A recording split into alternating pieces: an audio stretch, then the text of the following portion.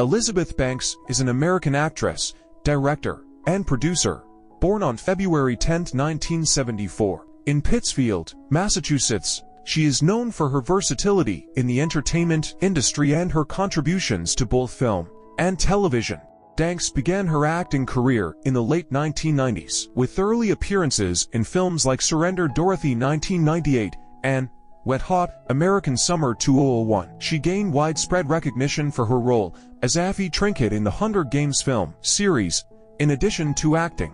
Banks is an accomplished director and producer. She made her directorial debut with Pitch Perfect 2 2015 and continued to direct and produce various projects, including the Charlie's Angels reboot 2019. She has also appeared in a wide range of films, from comedies like Zack and Miri Make a Porno 2008 to dramatic roles in Love and Mercy 2014.